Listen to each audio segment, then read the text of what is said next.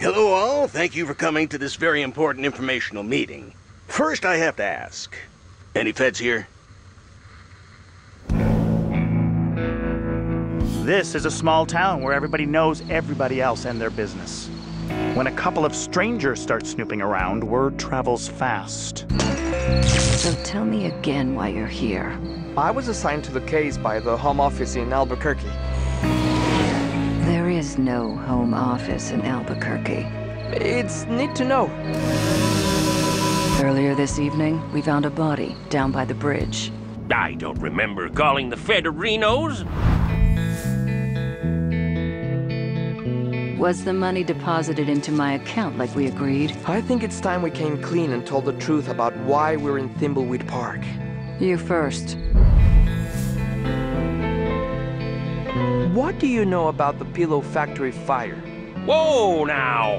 Are the feds uh, looking into this case? No, he's just curious. He's a Pillow Factory fire buff.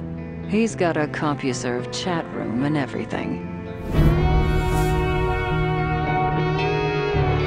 I better get ready to go on stage and insult the crap out of these thimbleweed idiots. I hope your old diner gets hit by a meteor.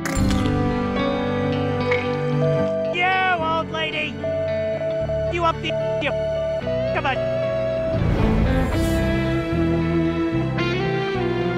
Uncle Chuck wants me to program his factory computers, but I just want to design games. You are out of my will. You're giving up over $10 million. That's 20 million in 2017 dollars. It's me, Delores. I'm a ghost. I want to give you a hug and say I'm sorry.